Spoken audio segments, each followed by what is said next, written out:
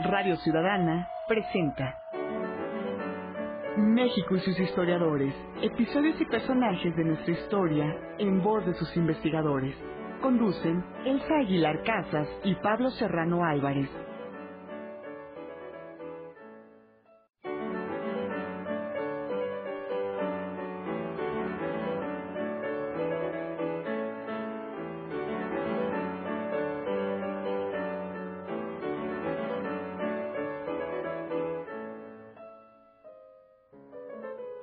Buenas tardes, les saluda Miguel Ángel Chávez Morales a nombre del equipo de producción de México y sus historiadores. Un espacio abierto para el saber histórico y la participación de usted que nos escucha. Le doy la más cordial bienvenida a Pablo Serrano Álvarez, conductor de este programa. Pablo, ¿cómo estás? Qué gusto saludarte. Buenas tardes. Buenas tardes. Después de mucho tiempo nos volvemos a reencontrar. Pues aquí estamos muy Gracias. bien. Pues hoy hablaremos de la vida y la obra de Vicente Lombardo Toledano, un destacado líder e intelectual de la Revolución Mexicana y el México contemporáneo, y para ello contamos con la presencia de la doctora María Teresa Aguirre Covarrubias, a quien saludamos con muchísimo gusto. Bienvenida. Nuestra invitada es doctora en Economía por la UNAM con la tesis Las polémicas de Vicente Lombardo Toledano hacia una biografía intelectual. Entre sus publicaciones se encuentran De la Revolución a la Industrialización y están en Prensa e Historia de América Latina en el siglo XX y Lombardo y la ideología de la Revolución Mexicana. Antes de comenzar, amigos y amigas, los invitamos a que expresen sus opiniones, sus puntos de vista, sus comentarios son bienvenidos. Para eso están, eh, pues en esta tarde ya en la captura telefónica, nuestras guapas edecanes, Jessica y también, eh, ¿quién más está por allá? Ya ni me acuerdo quién. Ah, también está Manuel Compatitla Alcázar en el control máster musical digital, pero en las líneas telefónicas Karina Rosas y Jessica Malinal, no se me pueden olvidar, ¿verdad? Pues ahí está el saludo para ellas. Así que amigos, 5604-8229, 5604-7926 y la línea sin costo el 01800-670-1680. Tenemos también un correo electrónico, que este no me lo sabía, pero aquí está, es México y sus historiadores, arroba gmail.com. Una vez más, México y sus historiadores, arroba gmail.com. Recuerden que tenemos, como siempre, excelentes regalos para ustedes que nos acompañan en esta tarde. Y hoy tendremos cinco ejemplares de Cultura y Política en el México postrevolucionario de Javier García Diego, para quienes nos contesten una pregunta que Pablo en este momento está formulando. Es más, ya está lista. ¿Cuál es la pregunta, Pablo Serrano? La pregunta es ¿quién fue el líder obrero antagónico en la CTM a Vicente Lombardo Toledano? Es re fácil, ¿eh? Sí. La repito. ¿Quién fue el líder obrero antagónico en la CTM a Vicente Lombardo Toledano? Yo creo que va a ser un poco difícil, van a tener que buscar muy bien ahí las biografías. ¿eh? Pues muy bien, ahí está la invitación 5604-8229, 5604-7926 y la línea 01800, la línea sin costo para quienes nos siguen a través de, de la red de internet, nuestros amigos que están conectados en esta tarde, que si están en el interior de la República Mexicana, pueden hacernos llegar sus comentarios al 01800 670 1680, una línea sin costo totalmente para ustedes. Así que bueno, pues comenzamos. Pablo. Gracias, Miguel Ángel. Amigos Radio Escuchas, buenas tardes. Tere, qué bueno que vienes a México y sus historiadores. Al contrario, mucho gusto por haberme invitado a sus órdenes. Y a hablar, amigos, amigas, de un personajazo de la Revolución Mexicana y del México contemporáneo, como lo fue Vicente Lombardo Toledano, que además lleva años de los años investigando sobre su vida y su obra. ¿Quién fue don Vicente Lombardo Toledano, Tere? Wow, es eh, un personaje tan complejo, tan multifacético, pero que acompaña a la ideología de la Revolución Mexicana. De hecho, es uno de los grandes personajes de la historia de México que formula o contribuye a formular esto que conocimos como nacionalismo revolucionario o ideología de la Revolución Mexicana y que acompañó la formación del PRI y de su antecesor el PRM, una de las vertientes de análisis eh, para entender al país obviamente sería analizando a don Vicente Lombardo Toledano, que tiene múltiples aportes eh, en el sentido obrero, en el sentido legislativo, en la educación, en la concepción de lo indígena popular. Su obra, hasta ahora, el Instituto de Investigaciones Filosóficas Vicente Lombardo Toledano, lleva publicado 76 tomos y aún no la termina. De sus obras completas. De sus obras completas. Está haciendo una edición por primera vez cronológica de sus escritos. Cuando yo empecé a estudiar a Lombardo, la primer tarea a la que me enfrenté hace 15 años fue recopilar todo el material que tenía escrito, porque no estaba todo el material disponible. Pero además eso es kilométrico, ¿no? 76 tomos llevan a la fecha y todavía no está terminada la obra. Y además está el archivo de sus cartas y más vinculado a su biografía personal y a su desarrollo personal, lo que sería sus papeles personales, que esos los tiene la Universidad Obrera. Y de la cual es él fundó, ¿no? Exactamente, 1936. Este, ¿Cuál es el origen social de Vicente Lombardo Toledo? ¿De dónde viene? Poblano de nacimiento, ¿no? Chuteco, igual que Manuel Ávila Camacho. Y Maximino. Y Maximino, obviamente, hermano de Manuel Ávila Camacho, gobernador de Puebla. Eh, Maximino, obviamente, y Manuel Ávila Camacho, presidente de la República, 1940-1946. Eh, el apellido no nos suena tan común, italiano. Su abuelo es italiano, viene en la época de Benito Juárez, entra por Veracruz, eh, inicialmente viene con un contrato para hacer obra pública, eh, no se puede hacer porque es la época de la intervención francesa y él se queda, uh, recibe un permiso para exploración de minas. Se va de Chutlán, Puebla, que es ahí donde eh, se, queda residiendo y eh, ya anciano regresa a Italia.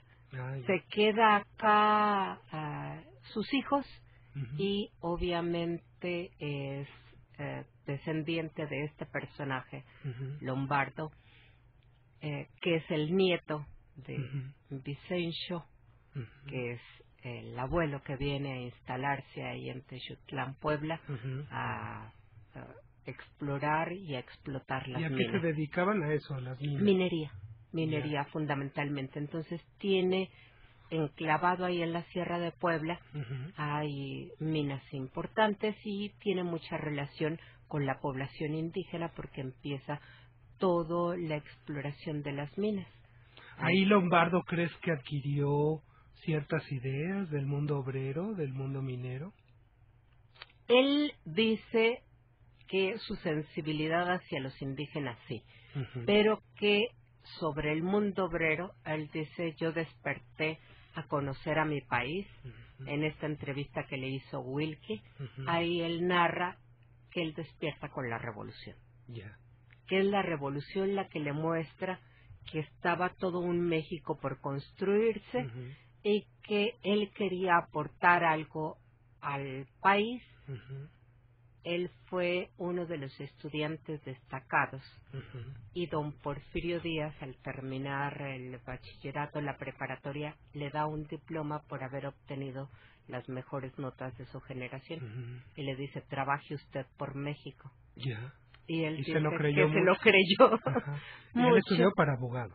Él es abogado, eh, hace la licenciatura y adquiere el doctorado en eh, lo que era filosofía en aquel momento, Escuela de Altos Estudios, al lado de Antonio Caso, su maestro con quien después va a tener la famosa polémica en la década de los 30. Bueno, y después, eh, bueno, en el transcurso de que es estudiante y tal, es cuando conforman los eh, parte de los siete sabios que llamaban el grupo de los siete sabios y la sociedad de conferencias y conciertos. Es el Ateneo de la Juventud que se convierte después en el Ateneo, ¿no? Era el Ateneo de la Juventud venía un poco antes, había sido con su profesor Antonio Caso, con Vasconcelos, con Enrique Sureña, ahí se constituye el Ateneo de la Juventud, que es toda esta corriente humanista, idealista, que eh, propone abrir a la filosofía la universidad, eh, tratando de superar al positivismo y tratando de generar en todo el ambiente que se está creando a principios de siglo una conciencia distinta que permite entender más Así lo que está sucediendo en el país, difundir la cultura. Es el Ateneo de la Juventud de donde va a empezar a emerger la Universidad Popular Así es. y tratando de retomar lo que fue el proyecto original del. Ateneo de la Juventud, este grupo de los siete sabios, del que también participa Manuel Gómez Morín, es el que crea o retoma eh, esta iniciativa con la Sociedad de Conferencias y Conciertos en 1916. ujú, Eh, la etapa, digamos, de auge del Ateneo ujú. está concluyendo hacia 1911 porque obviamente el estallido de la revolución los hace frenar las iniciativas y se retoma en 1916 con esta sociedad Con- de ajá. conferencias y conciertos. Y el Ateneo de México, que ya fue lo último, ¿no? Exactamente. Bueno, ¿y cómo se inserta Lombardo en el proceso de la revolución? ¿Qué hace en, en los primeros años de la revolución Lombardo? En los primeritos años de la revolución eh, retoman la iniciativa de fundar la Universidad Popular y como parte de la Universidad Popular lo mandan al primer Congreso Obrero que se va a constituir en Saltillo, Coahuila en 1918. ujú, Ah, eh, ahí participa Lombardo y lo nombran secretario de Educación de la CROM. Es el Mm, congreso en el que se constituye la CROM y va a permanecer en la CROM desde 1918 hasta 1929 que rompe con em, el dirigente de la CROM, Morones, y empieza la fundación de una nueva organización obrera que luego de pasar por varias etapas fundan primero la CROM depurada en 29 ahí en alianza con los cinco lobitos y con Fidel Velázquez ujú, y luego en 1933 la CEGOSEM ujú. y finalmente en 1936 la CTM. Claro.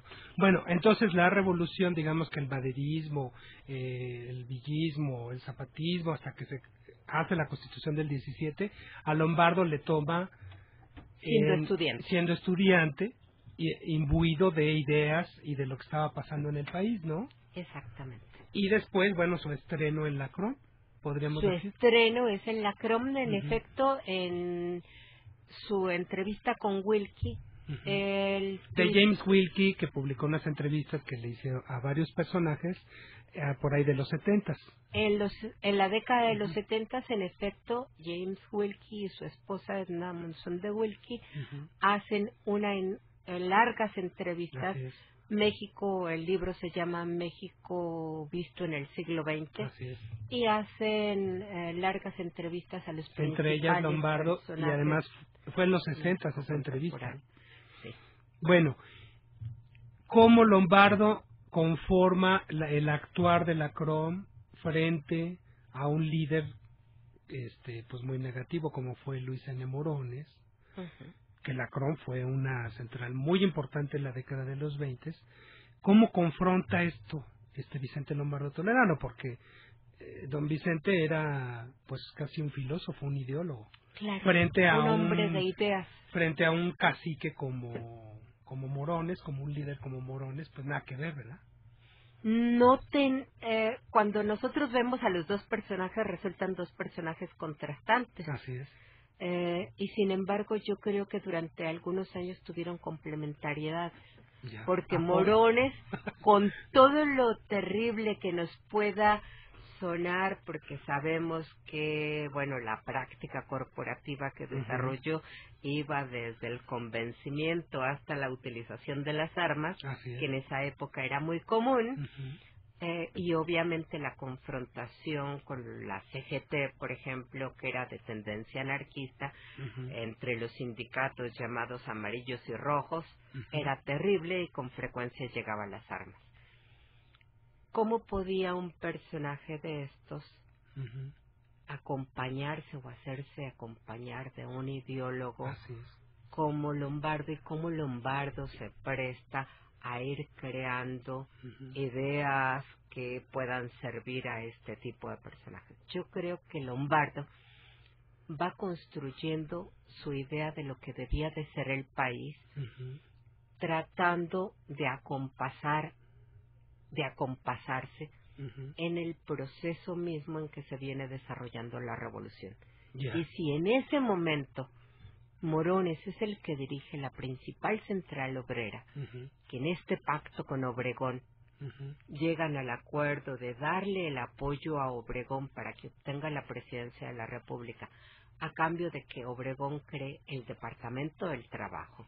Que finalmente se crea, ¿no? Se crea exactamente durante la presidencia de Obregón, a cambio de darles la gubernatura del Distrito Federal, que en ese momento había gobernador del Distrito Federal, y a cambio de reconocerlos como la central obrera más importante. Así es puntal del obregonismo, ¿estás de acuerdo? Exactamente, totalmente. Es difícil pensar que Obregón hubiera llegado a la presidencia y que incluso pudiera reelegirse en 1927-28 como presidente de la República sin el apoyo de la CROM.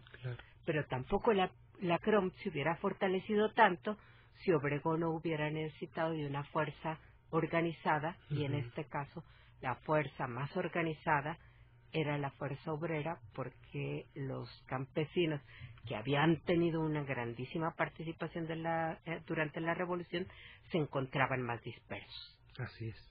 Entonces, es esta organización la que le va a permitir a Obregón apoyarse en segmentos populares organizados que van a promover el voto o para contar con un voto y al mismo tiempo es este segmento organizado que recibe apoyo del Estado para fortalecerse también como la central más importante. Claro. Tere, vamos a una pequeña pausa. Sandra, los teléfonos. Claro que sí, los teléfonos aquí en Radio Ciudadana son 5604-8229, 5604-7926. Tenemos una alada sin costo para todo el país que es 01800 670-1680. O también nos pueden enviar un mensaje desde su celular. Estos hay que iniciarlos con la palabra ciudadana. Ciudadana, espacio, mensajito y nombre al 30003. Eso es México y sus historiadores con Pablo Serrano Álvarez. Gracias, Sandra. Bueno, han de decir que por qué el cambio. Lo que pasa es que Sandra estaba grabando una cosa y entonces vino un poco tarde y Miguel inició el programa. Así es amigo, pieza clave de este programa. Amigos, llámenos, eh, pregúntenle a Tere todo lo que quieran saber de Vicente Lombardo Toledano, porque ella lo sabe todo. bueno, Lombardo Toledano es un puntal de del obregonismo, del callismo, y, lo encontramos como un puntal fundamental de la década de los 30 fundamental. Eh, primero, durante el obregonismo, incluso él ya como diputado en ese momento va a miembro muy muy activo del Partido Laborista va a conseguir que el Partido Laborista le dé el apoyo a Obregón para nada más y nada menos que modificar la Constitución y permitir la reelección. Cuando el movimiento revolucionario se había hecho con el lema de sufragio efectivo y no reelección. Como después de un millón de muertos entre las batallas y la influenza y desnutrición, a los ocho años, o siete años, prácticamente diez años de la Constitución, se modificaba para permitir la reelección presidencial porque era pues el perpetuar el caudillismo, pero además era indispensable Obregón, ¿no? En ese momento esa es la explicación que da Lombardo en todos los ¿Justifica Lombardo esto? Claro. Lombardo plantea que en ese momento de confrontación de caudillos la paz solo podía llegar con un caudillo que lograra imponerse por encima de los demás. Así es. Y obviamente que ese personaje en ese momento se considera que es Obregón. Después Calles mostraría que él iba a ser el jefe máximo de la revolución.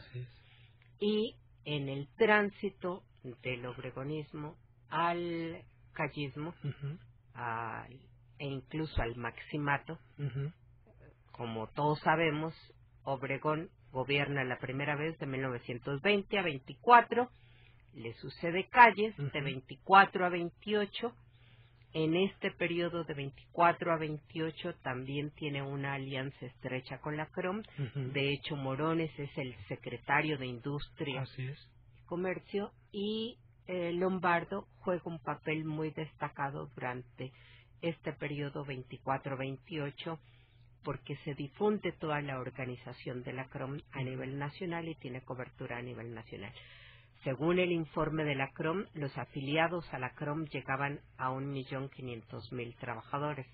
Es medio complicado creerlo porque, yo creo que la fuerza de trabajo económicamente activa, la población que trabajaba en la industria no era tanta. Pero recordemos que también este sindicalismo surge con fuerza de trabajo obrera industrial y también fuerza de trabajo que está en el campo. y artesanal incluso, ¿no? De muchos y pueblos. Muchos, sí, de segmentos artesanales. Bueno, eh, matan a Obregón, al presidente electo, el 17 de julio del 28, y se acusa a Calles y se acusa a Morones de urdir ese asesinato, que además, bueno, el asesinato ya se ha comprobado mucho, pues fue hecho por un este, fanático religioso. Pero en la época, ¿eso qué significado tiene? Crea una crisis política. Era y ahora, ¿quién va a venir a sustituir el liderazgo de Obregón? ¿Qué piensa Lombardo de eso? En ese momento, Lombardo está de acuerdo en el tránsito hacia un eh, partido nacional que logre que los caudillos se pongan de acuerdo y que se vaya dando un mayor espacio hacia la participación popular y que se vayan consolidando las reformas. Así es. Él lo que más le preocupa es que la letra de la Constitución todavía no se aplica. Totalmente. La reforma agraria es todavía muy escasa en términos de modificar la estructura de tenencia de la tierra. Eh, a nivel nacional. Se ha repartido para ese momento, se calcula el 7 u 8% de la tierra cultivable del país. Y en el, lo que sería el otro gran artículo que, que modifica la Constitución, que es el artículo 123, se ha estado aplicando de manera diferenciada según el estado del el estado de la República y según el gobernador del estado sea más o menos obrerista o no está un montón de polémicas. Se debe de pagar el día de descanso obligatorio que marca la Constitución. Está en discusión las leyes sobre enfermedades. Eh, sí la legislación marcaba que había que eh, indemnizar a los trabajadores cuando contrajeran alguna enfermedad laboral, pero cuáles eran esas enfermedades laborales típicas de cada oficio. Luego, este, qué características debía de tener, por ejemplo, la contratación individual o colectiva. Esta era toda una polémica mundial. Porque además la reglamentación del 123 no se había dado todavía. No, todavía no es hasta 1931 que se hace la Ley Federal del Trabajo. Y esto le preocupa mucho a Lombardo porque escribe muchísimas cosas sobre el Por supuesto. Y es ahí donde va a entrar en confrontación con Calles. Para este periodo y también en confrontación con Morones. Le reclama a los dos que hayan olvidado el objetivo de la Revolución Mexicana y lo establecido en el artículo 123 y demanda que se haga esta formulación de la Ley Federal del Trabajo. Así es. ¿Influye en la, conformación de la ley? Sí. De hecho, se da este, la legislación en el periodo que ahora conocemos como maximato durante el interinato de Portes Gil y este, en ese momento interviene Lombardo y se reformula buena parte de eh, la Ley Federal del Trabajo. Uno de los nuevos contenidos es lo que ha estado peleando Lombardo. la contratación colectiva de trabajo. Fíjate. Es el primer contrato colectivo de trabajo lo firma él como gobernador de Puebla. Y además de influir en la configuración de la ley. Él, la primer, la, él es gobernador de Puebla hacia 1927 y es ahí cuando se firma el primer contrato colectivo de trabajo en México. Después es la Ley Federal del Trabajo que ha establecido el contrato colectivo. Poco se conoce de eso acerca de la biografía de Lombardo, ¿estás de acuerdo? Yo creo Porque que se conoce a Lombardo como un socialista, como un comunista por ahí medio perdido, como un líder sindical, este creador de las corporaciones sindicales. Claro. Pero esas acciones en concreto poco se saben en la historiografía. Claro. ¿No? Bueno, su relación con Calles fue pésima. En la segunda etapa del callismo o durante el maximato. Ajá. Y después tiene que ver mucho en las ideas de la educación socialista. Sí, es en 1932. De hecho, intelectualmente Lombardo empieza a transitar hacia un pensamiento socialista.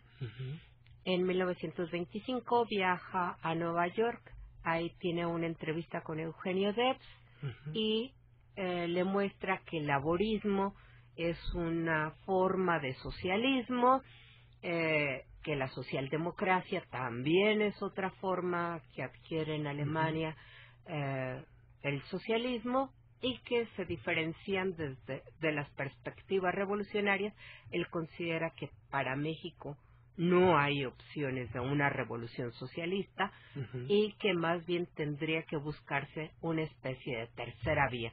Esto que Giddens luego va a sacar tan como algo tan novedoso. Ya estaba.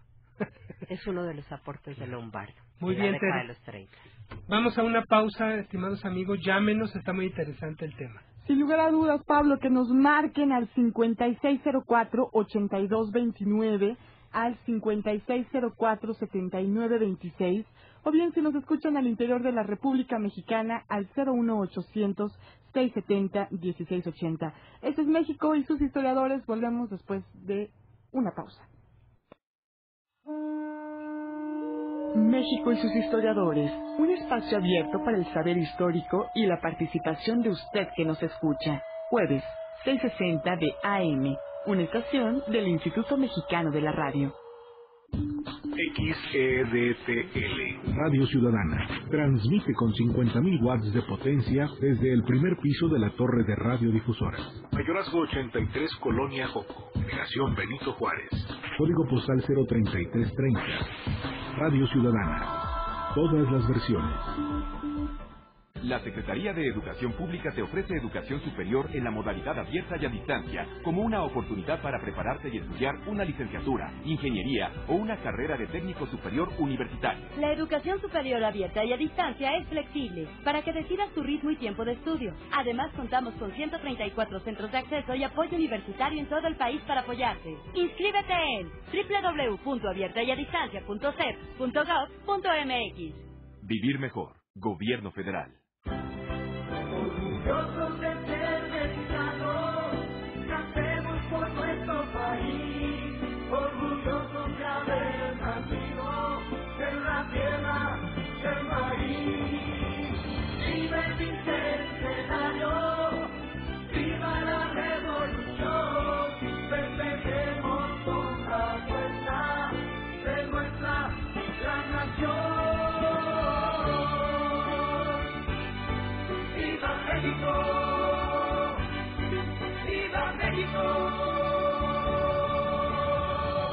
Industria de la Radio del Valle de México. En el Ejército y Fuerza Aérea Mexicanos tenemos una misión, mantener a la sociedad protegida.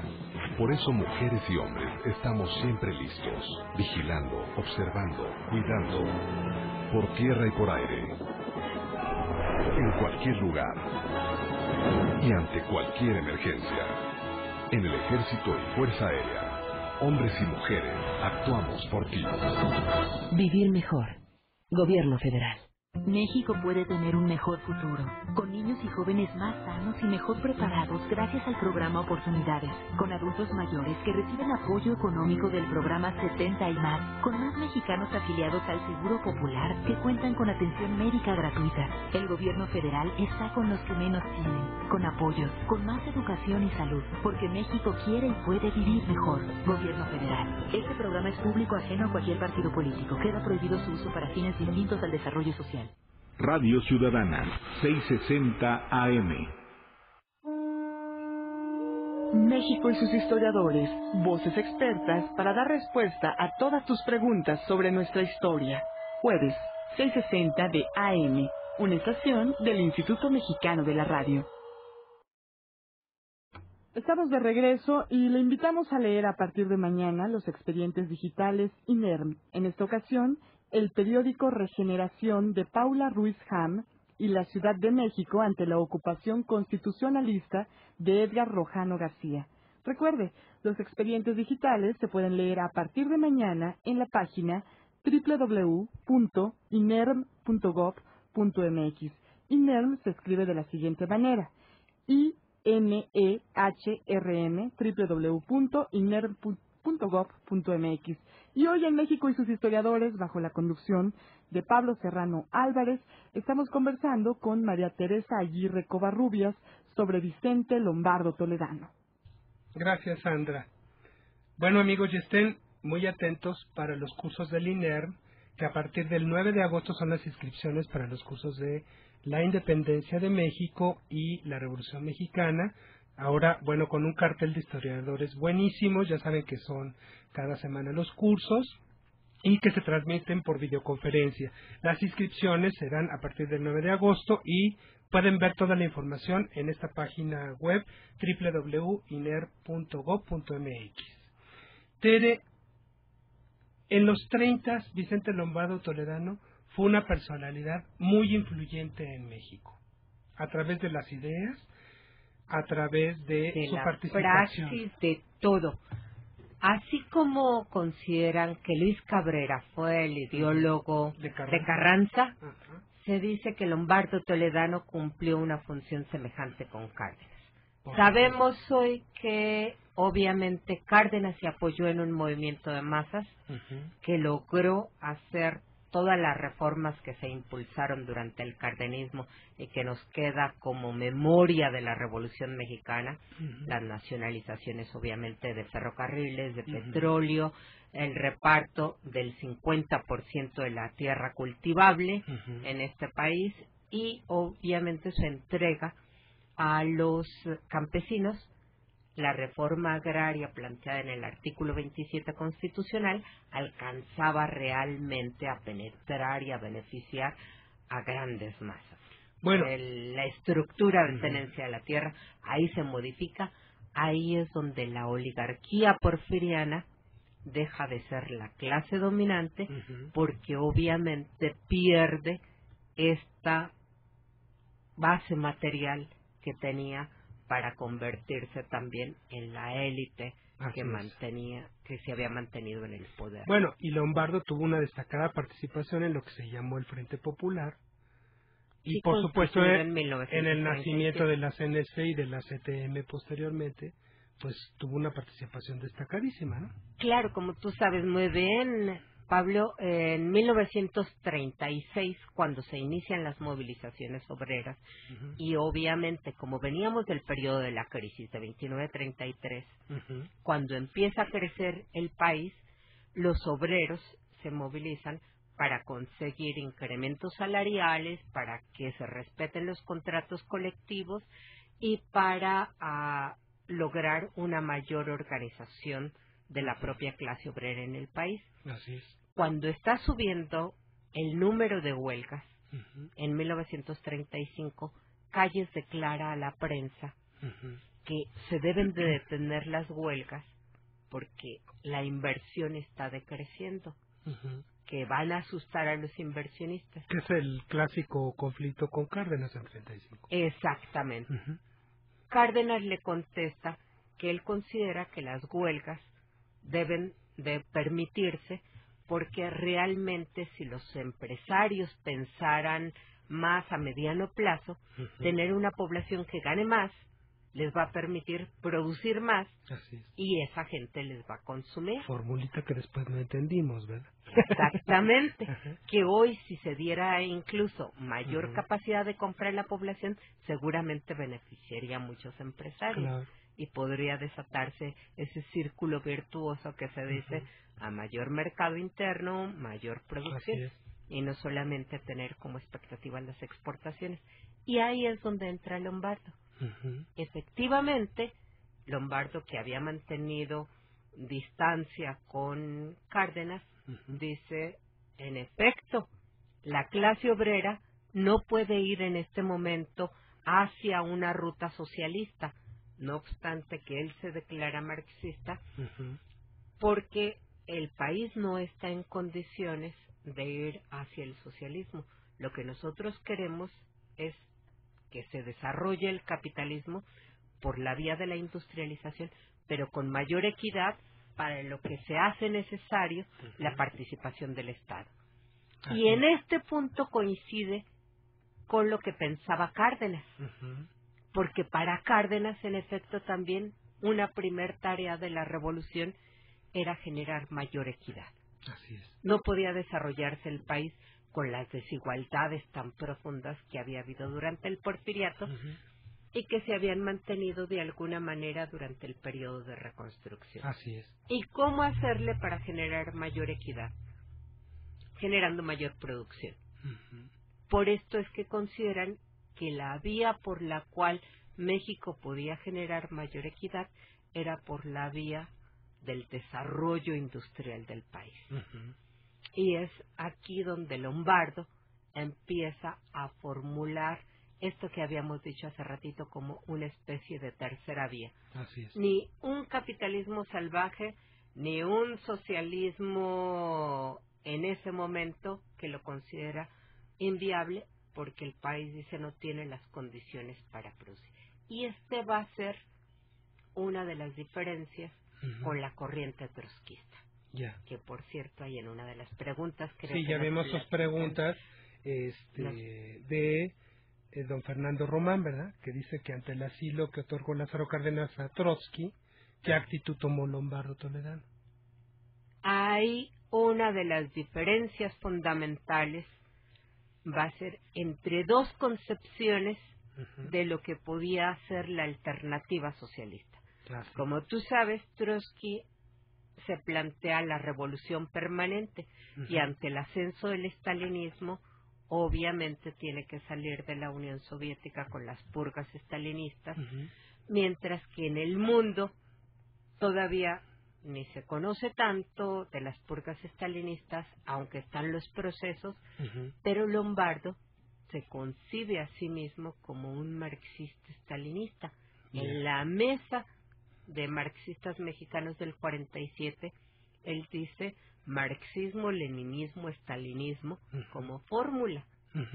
Su idea de construcción del Estado, Ujú. que era el único Estado socialista que había en ese momento, era la idea obviamente estalinista. Así Entonces es. el- la confrontación entre lombardistas y trotskistas va a ser terrible. Prácticamente decía un chiste que se veían en una misma esquina y se escupían la cara, ¿no? Así. Eh, Bueno, y- los una- escritos, ¿no? Porque, bueno, desde finales de 38 Lombardo se desborda, hay folletos, hay publicaciones en los periódicos, en las revistas, entrevistas, etcétera, En donde toda manifiesta la toda esta postura, de los ¿no? 30, claro, va a tener polémicas, es el Así es. gran polemista. Y se mete en la educación, y se mete en la reforma agraria, y se mete en la organización sindical, y en las políticas públicas, y en el mundo internacional.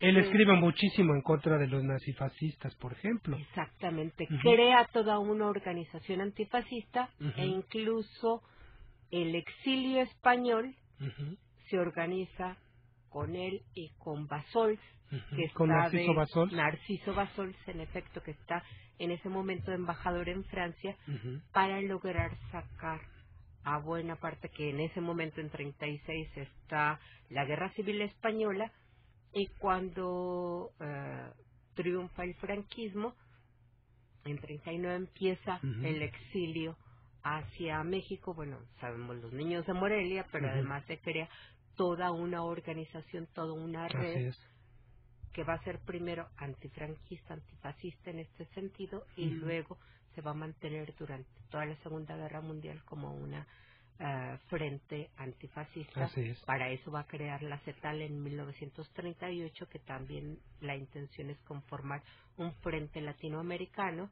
Y sus escritos, ¿no? Porque además durante todos los fascismo. 40 prácticamente, bueno, es enemigo de los sinarquistas, es enemigo de organizaciones este, eh, declaradas nazifascistas, Exacto. ¿no? Y organiza a todo el mundo con tal de combatir este, esta tendencia político-ideológica en México, Sí. ¿no?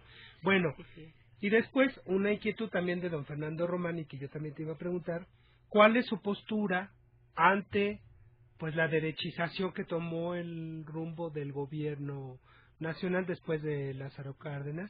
Unos dicen que derechización, otros dicen que se fue hacia el centro, con la, con, teniendo como cabeza a Manuel Ávila Camacho, que además era su conocido de, de Teciutlán. Compañeros de la escuela. Así es. ¿Cuál es su postura de Lombardo? Lombardo en ese momento no está tan presente en México. Eh, bueno, es un error decir que no está tan presente. Está presente aunque una de sus pies está en América Latina Así es. y el otro es eh, la creación de un pacto obrero industrial. En Ujú. 1943 firman un primer acuerdo obrero industrial. ¿Por qué? ¿Cuál es la idea de Lombardo? Como un marxista se propone que va a ser lo que, lo le reclama este, revueltas en un proletariado sin cabeza. José Revuelta. José Revueltas.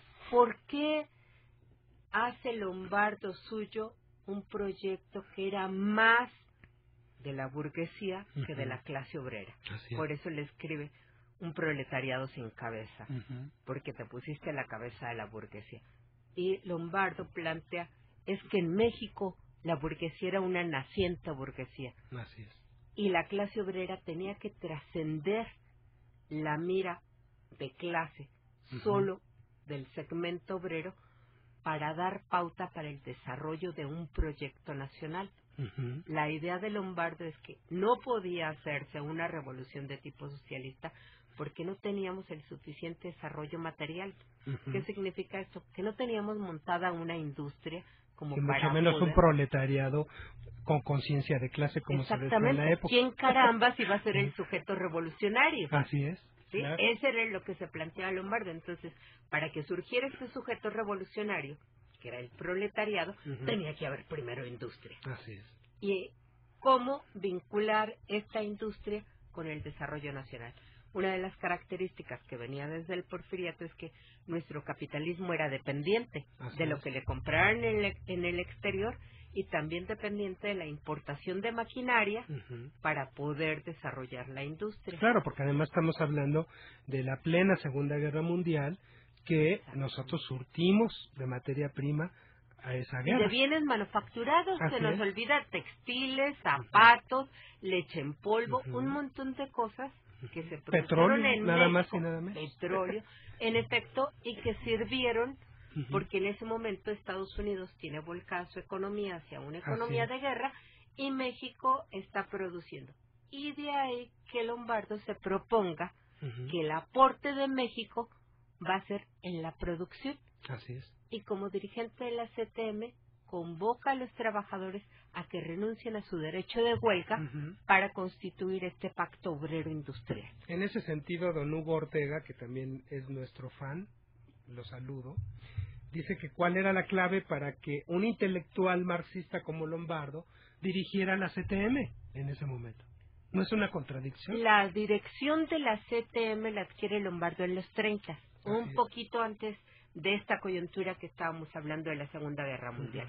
¿Por qué en 1935, que llega Cárdenas a la presidencia de la República, Lombardo lo acompaña en el impulso a las reformas?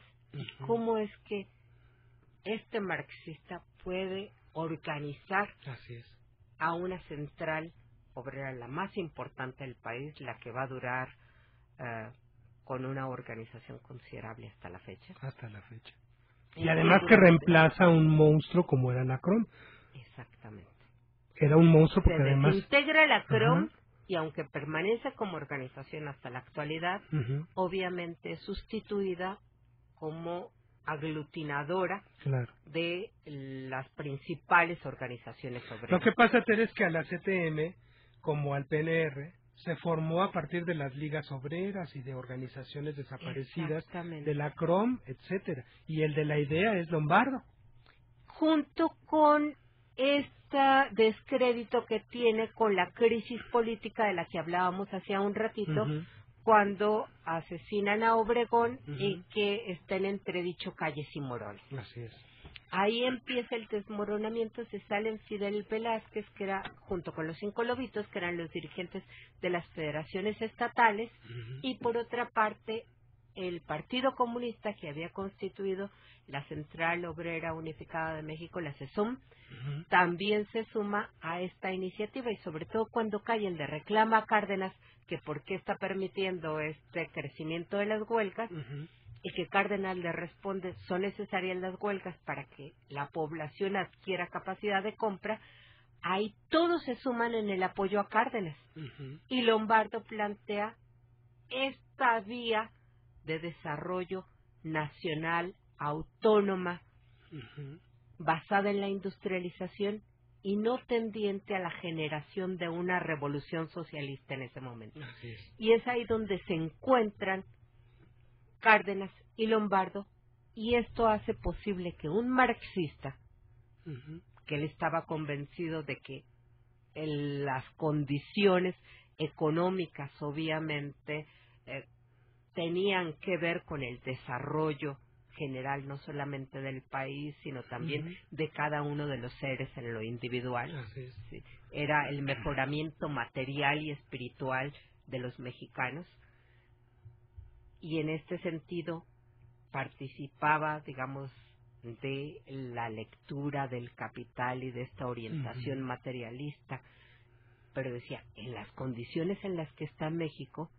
la manera en que este marxismo puede aterrizar no es por una revolución proletaria, porque no existe el proletariado, sino la clase obrera tiene que empujar para que el Estado participe más Así es. y con esta mayor participación del Estado se genere mayor equidad.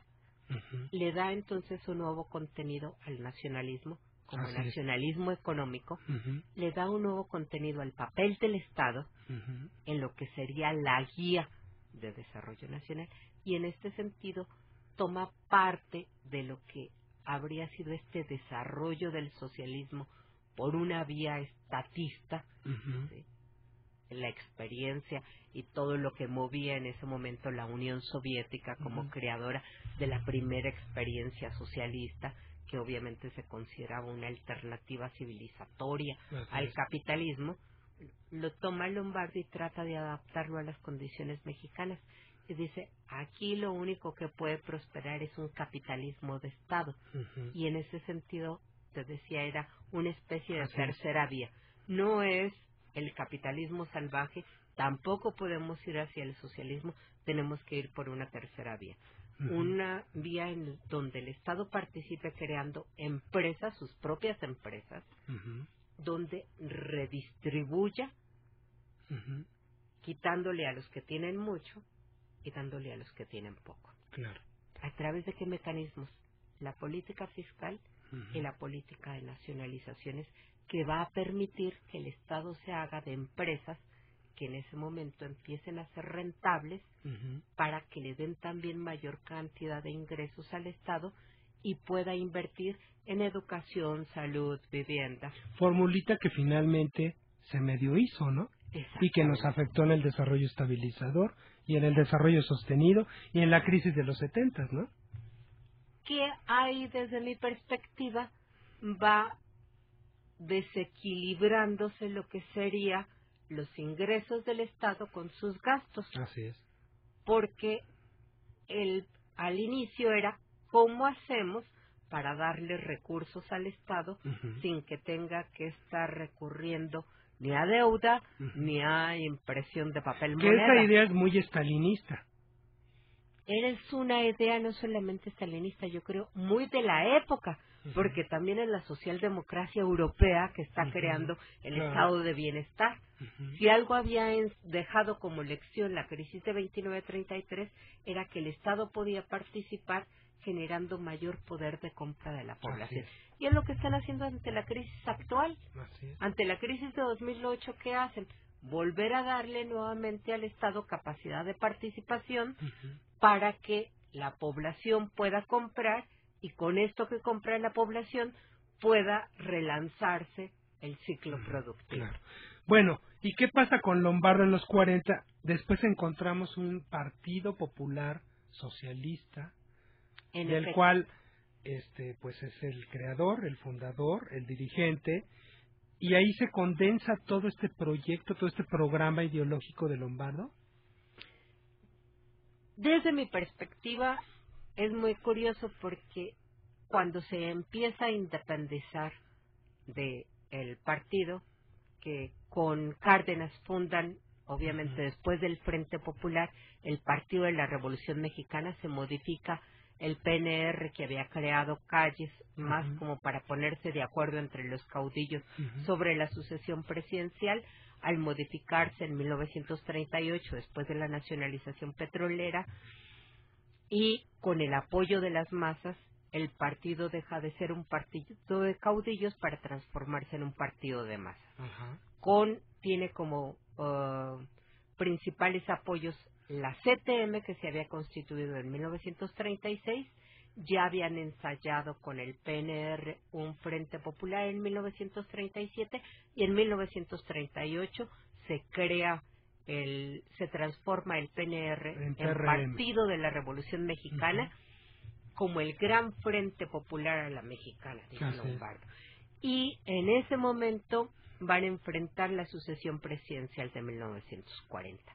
Entra, como sabemos, Ávila Camacho, que en efecto Ávila Camacho lo que le preocupa es conciliar a la población porque debemos de también tener muy claro que la población queda muy dividida tras las reformas cardenistas. Hay un segmento que siente que las reformas cardenistas están yendo demasiado lejos y hay otro segmento que considera que apenas están dando respuesta a lo que estaba planteado en la Constitución. Entre esos dos extremos y que no se viera amenazada la paz social, Ávila Camacho toma como lema la unidad nacional.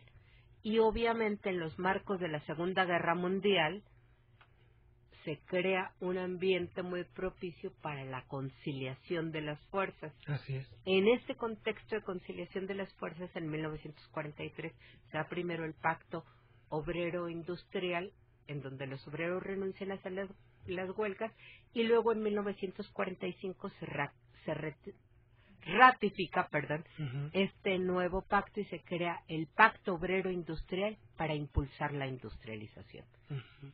¿Por qué en 1945 y en los marcos de la Segunda Guerra Mundial? Y de ahí me voy a la pregunta que hacía sobre el Partido Ujú. Popular. En 1945 es en los marcos de la Segunda Guerra Mundial. Finalizando la Segunda Guerra Mundial, Estados Unidos propone a todos los países de América Latina en la conferencia de Chapultepec que le bajen a su nacionalismo revolucionario, que le bajen al nivel proteccionista y que creen un acuerdo de libre comercio de todas las Américas. Este ALCA, su origen no está en 93, sino en 1945. Ujú. Y Lombardo, que se pone en ese momento a la cabeza de los líderes de América Latina, dice, oigan, tenemos que buscar una vía de desarrollo más nacional y más autónoma, es necesario proteger a nuestras industrias. Y lanza este proyecto de desarrollo nacional autónomo.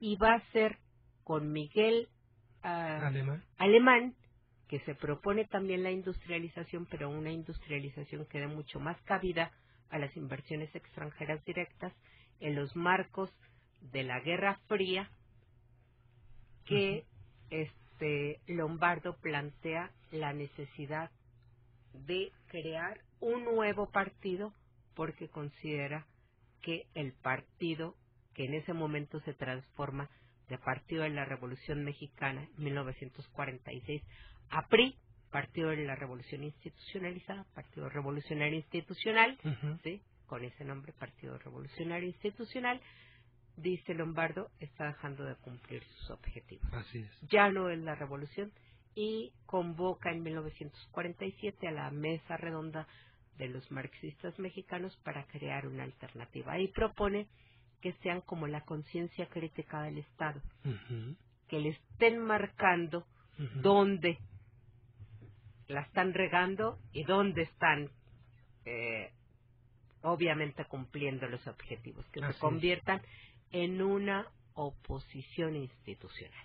Además, eh, como en, esta, en estos momentos se da como cierta apertura a nivel del sistema político, bueno, encontramos al Partido Comunista por un lado, hasta el Partido Popular, eh, Fuerza Popular de los Sinarquistas, o sea, la plena derecha, y por ahí vemos en el centro a Lombardo Toledano con el Partido Popular, que tiene ciertos éxitos, ¿no? Después.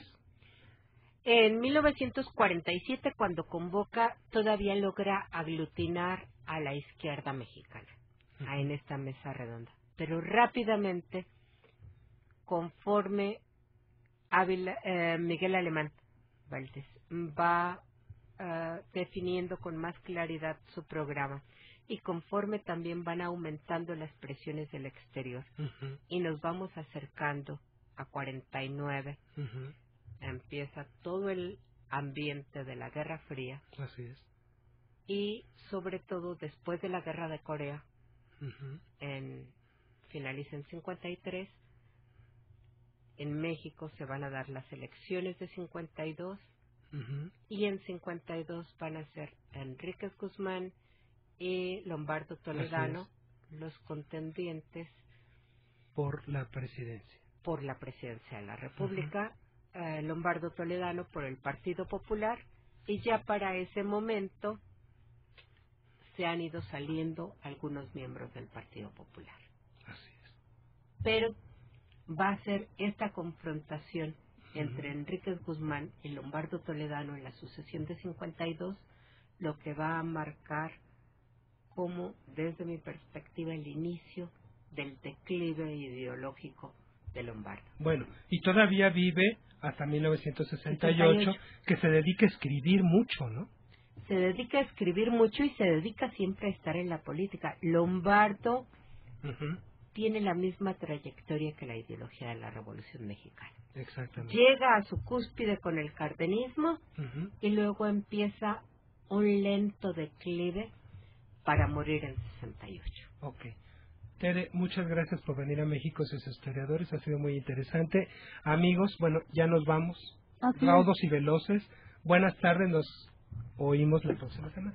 Claro, los ganadores del libro son Fernando Román, Hugo Ortega, Alfredo Rodríguez Álvarez, Javier Huerta e Hilda San Román. El libro es Cultura y Política de México, pos, del México, en el México postrevolucionario de Javier García Diego.